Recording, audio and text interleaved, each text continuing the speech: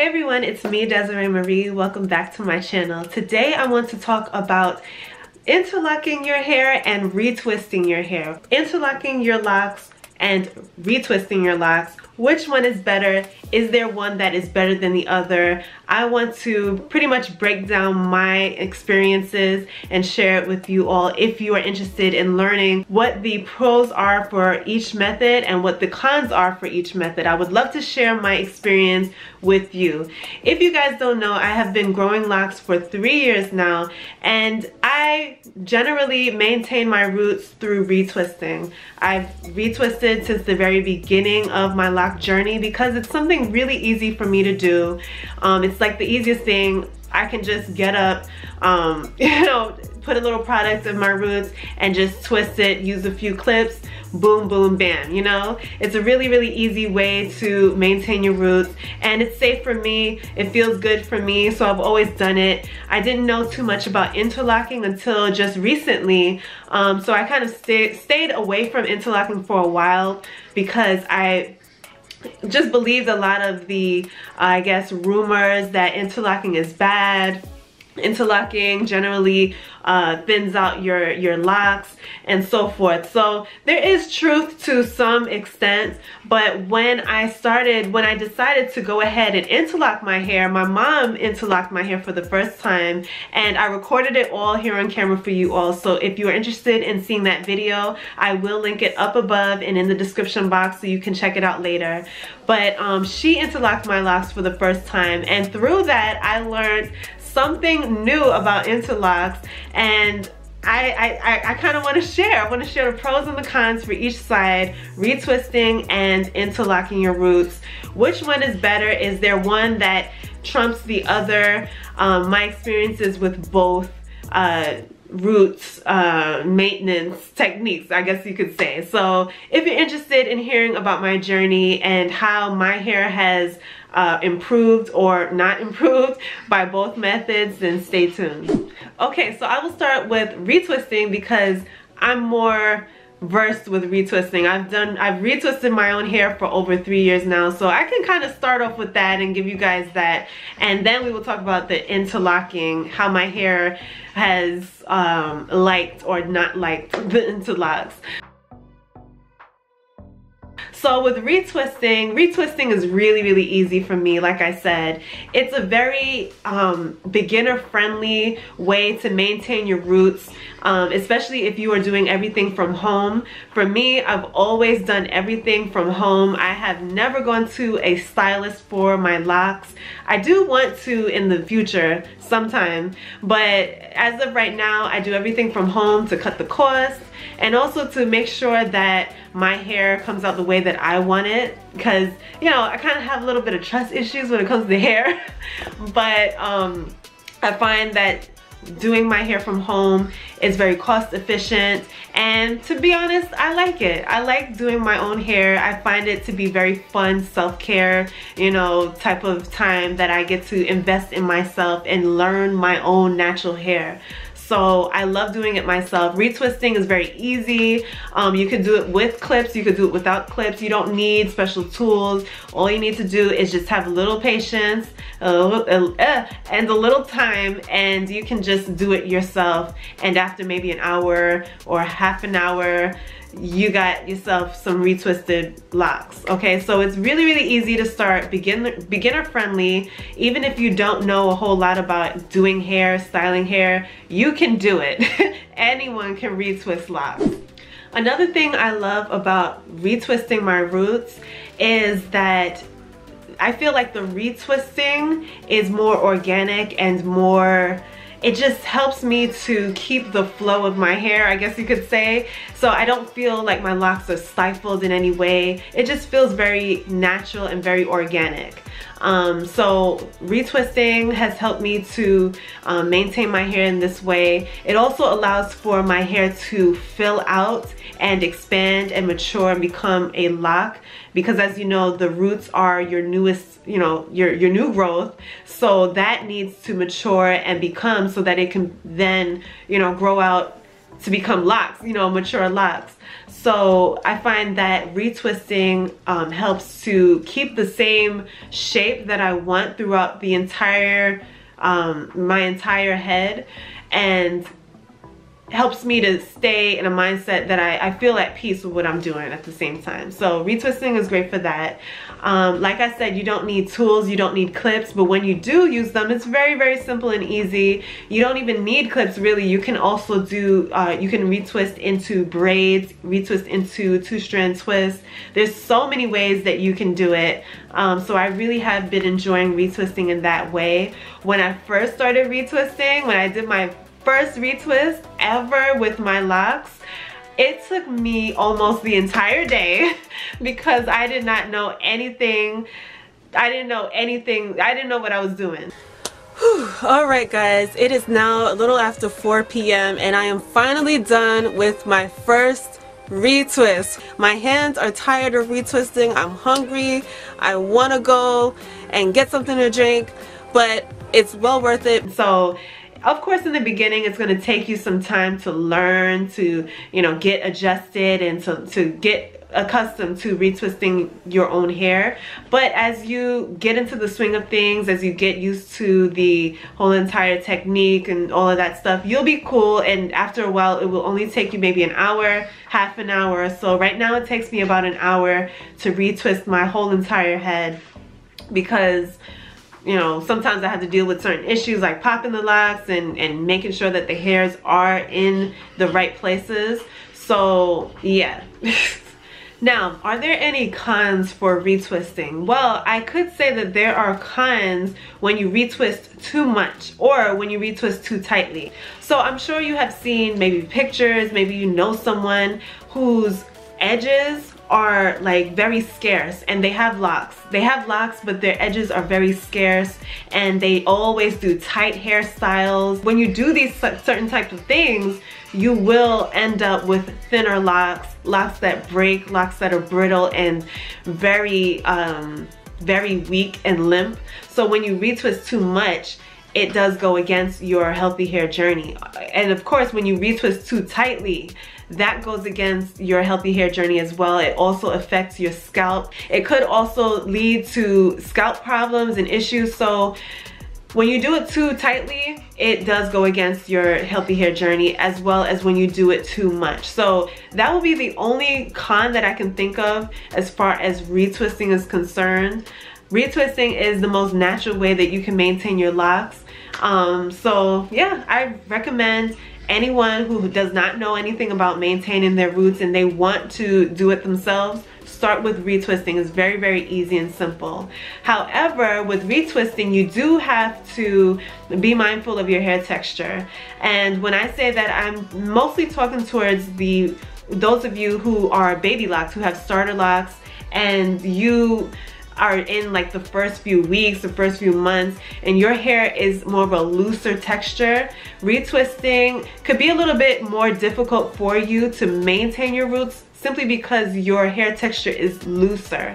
And so it may not hold the roots the way that you wish for um, your retwisting or your retightening to you know hold your roots together and keep a neat style. So that's where the other method that I will speak about now kind of comes into play and that is interlocking. So, so many of you guys have asked me, okay, I have loose hair and it's not staying retwisted. My retwists never stay and I have hair that's constantly coming out of the locks.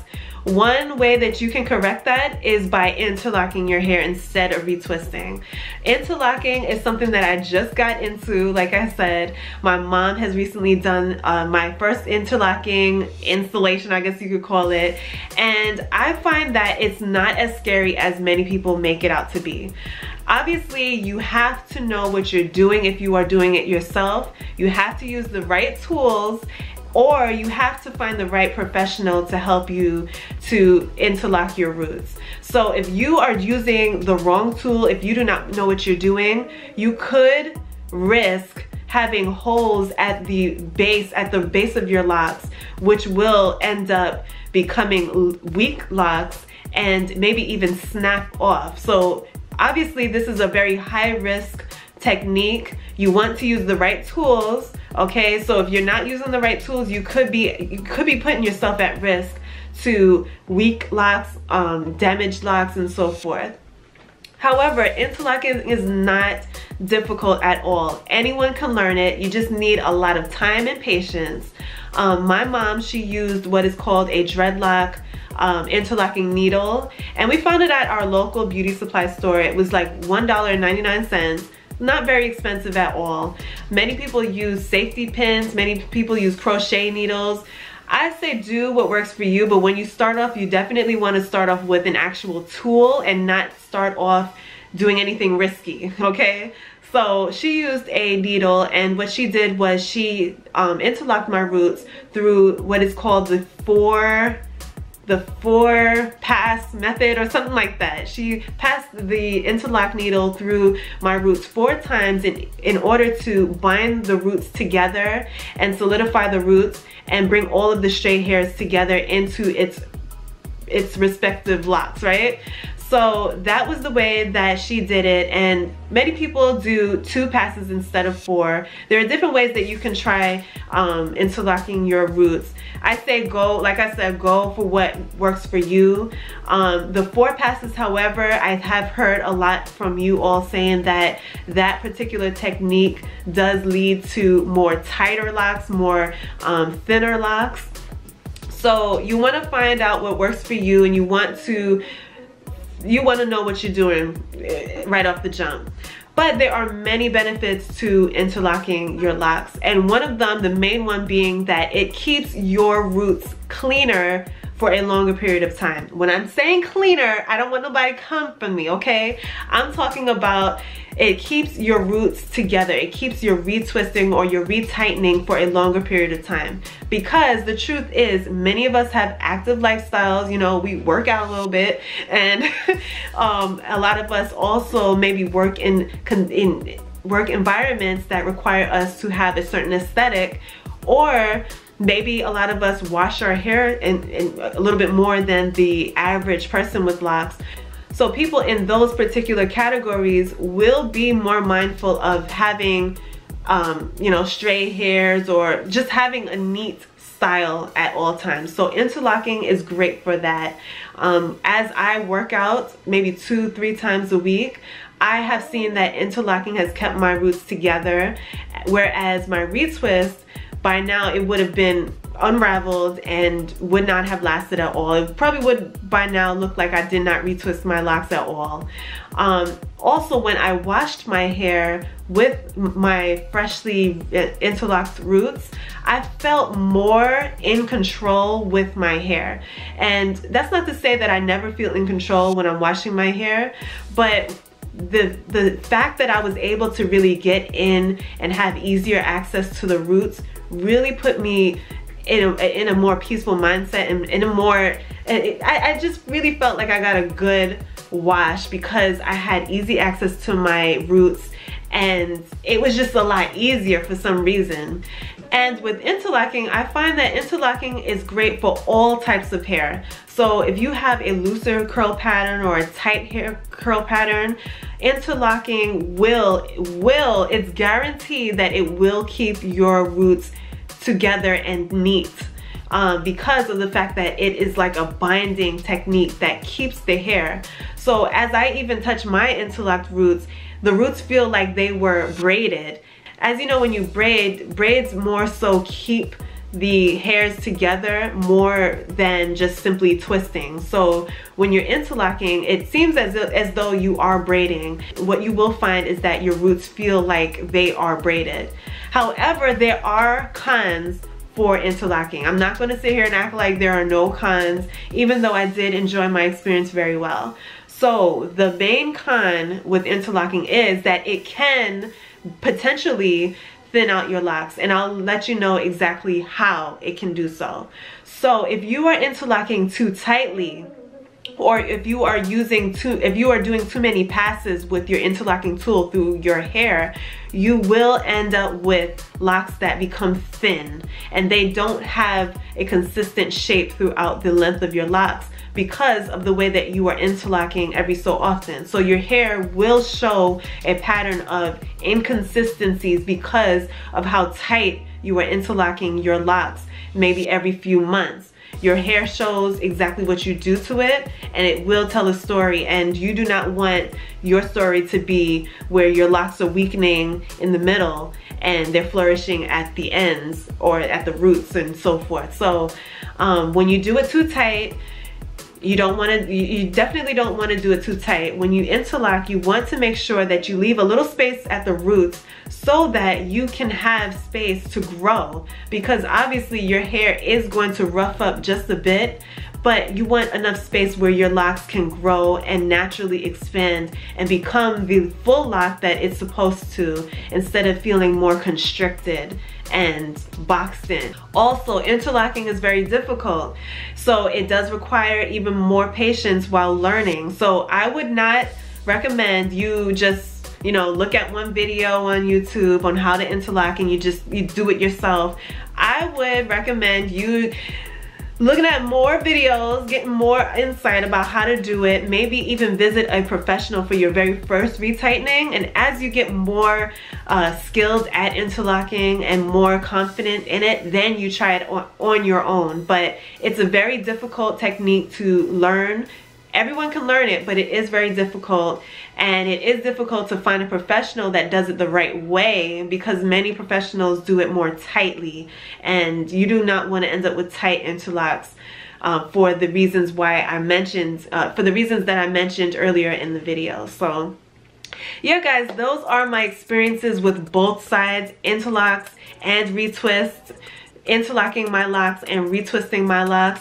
Is one better than the other? I would say no. To each his own. So if you have a certain hair type that is better with interlocks, then interlocking is better for you. However, retwisting may be a better bet for other people as well. Me personally, I don't see anyone better than the other. However, I do feel more safe and secure with retwisting my roots. So moving forward, will I interlock my locks to keep my roots together? The answer is not always. I will interlock once a year. I will not do it every month. you definitely don't want to do it every month. I will be maintaining my roots throughout the year, however, with retwisting, with palm rolling, I guess you guys would say as well. So that is pretty much my experience. But what is your experience? Do you retwist your locks or do you interlock your locks? I would love to know your experience, your stories. Drop them down below. Thank you guys for watching. I do appreciate your genuine love and support here on this channel. If you are not subscribed, I want to encourage you to go ahead and subscribe because there will be so many, many more videos this to come. We upload almost every day. But thank you guys for watching and I will see you in the next video. Later guys. Bye.